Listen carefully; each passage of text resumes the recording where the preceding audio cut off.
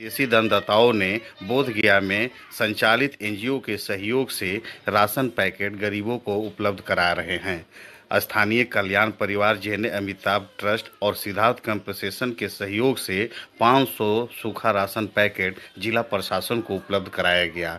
जिला प्रशासन के अधिकारियों ने कहा कि गरीबों को चिन्हित कर ये पैकेट उन तक पहुँचाया जाएगा।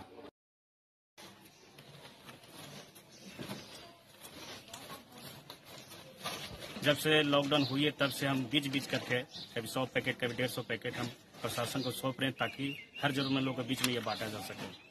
और हम आशा करेंगे जब तक हम लोगों को बीच में बांटते रहेंगे, यहाँ तक हम दिल्ली और कोलकाता में जो फंसे हुए बिहारी मजदूर हैं बिहार के, उसे भी हम भोजन की व्यवस्था वहाँ पर कर रहे हैं जिसमें चावल, दाल, आटा मास्क साबुन, सारे चीज़ का व्यवस्था दस दिन का भोजन सामग्री वहाँ पर हम देने जा रहे हैं। मास्क है और ये मास्क हमारे संस्था में भी बन रही है ताकि जो मास्क की कमी हो गई थी बोधगया में इसकी वजह से हम लोग मास्क बनाना भी शुरू किए अपने सिद्धार्थ कंपेशन में और वही मास्क हम लोग जिला प्रशासन को भी दे रहे हैं।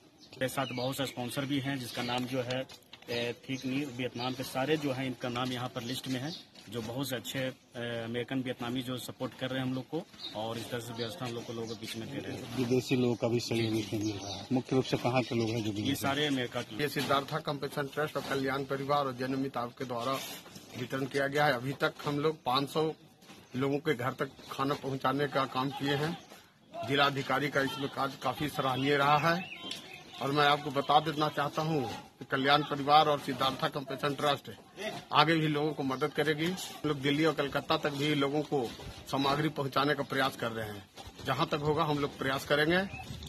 ये लॉकडाउन के कारण जो है, पूरे शहर में जो बंदी का माहौल है और इसमें दैनिक काम करने वाले जो बिहारी मजदूर हैं उनको खाना उपलब्ध कराने हेतु जितने भी स्वयं सेवी संस्था है या स्वयं से है अपने सेल्फ वो लोग अनाज डिस्ट्रीब्यूट कर रहे हैं। उस अनाज को हम लोग उसके यहाँ फ़ोन करते हैं हम लोग आके उसको रिसीव करते हैं।